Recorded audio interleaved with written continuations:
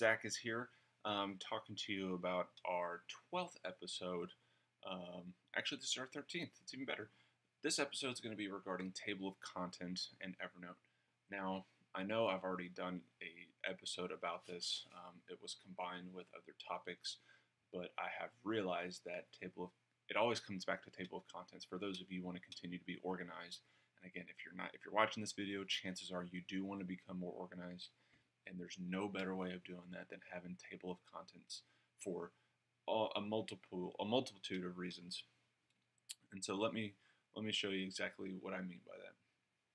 So first of all, I have a shortcut on the left-hand side here called TOC, Table of Contents, at which point you'll see I have a, a bunch of notes here. Um, these are really called my master notes. So master notes are just an easier way to say, all right, if I need to find something um, that has to do with my car, right? Um, at which point I'll come to my master table of contents for both my wife and I's car, and I can find information on here at a very quick pace, right? Um, if I've used this actually pretty frequently, um, and, and, most recently I used this when my wife's car completely stalled in us on the freeway.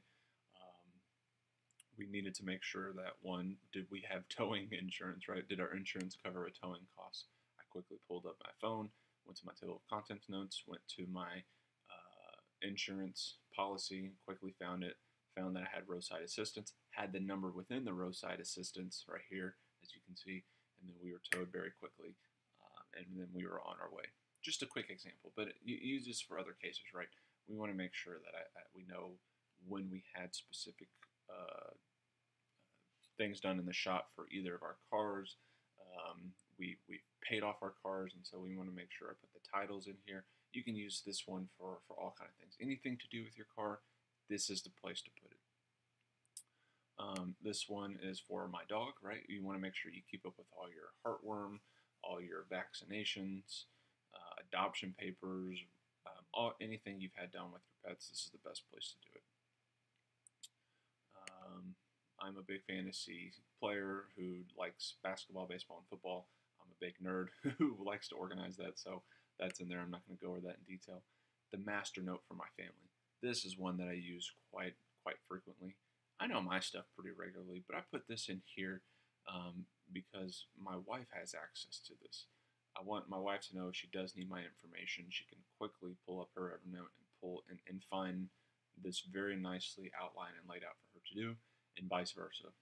Selfishly, I did this for me because I can't remember. I barely remember my stuff, and so I put not only I put her information, but also my kids' information. I don't have to go back. I don't have to call my wife. I don't go to my notes app and keep this stuff unencrypted where um, it's very accessible if someone gets a hold of your phone. I like to encrypt all this information. It's very important for me to keep this safe um, and nicely organized. Um, again, I have a. Uh, I showed you this in the, in the previous video, but um, this is an example of all of my electronics that I like to make sure uh, that I have on file. Uh, a couple different reasons. If for some reason you were robbed, um, this is a nice ability to say, go back and figure out what models you had, how much was it worth, how much did you buy it for to make sure you have those claims.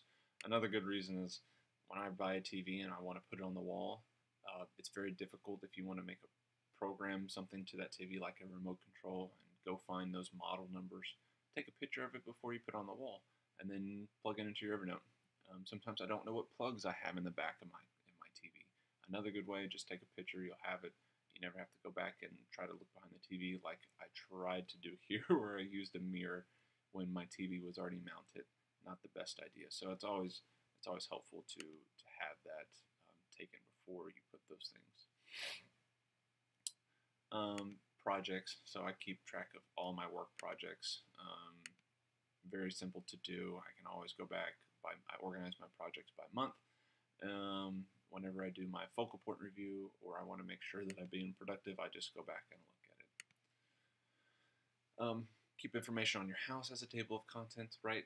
Keep all your contracts here from your security system to your internet provider to your cable provider, your pest control to gas. I don't remember when these projects go, or when these contracts go up. I make sure Evernote reminds me when that when those contracts do go up because it's important to shop around and make sure you're getting the best prices on whatever you're doing. Um, frequently used phone numbers, right? Uh, for my AC guy, plumbers in case of emergency, keep that information in here. When you when I bought the house, I want to make sure I have all. I mean, you get gobbles of paperwork that that come with it. Uh, you just want to make sure you hold on to that information. A CRM, right?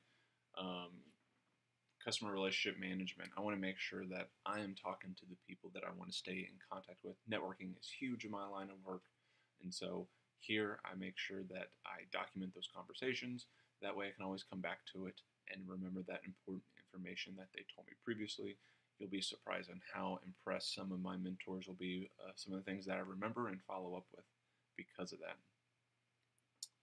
Um, that is basically it um, for table of contents. If you have any other ideas, I'm always always looking to learn on how else I can utilize Evernote. I hope you found some use out of this. If you have any comments or questions, um, please shoot me an email at zweyand uh, at gmail.com. I am a certified Evernote consultant. Happy to help you wherever I possibly can. Thank you for watching, guys.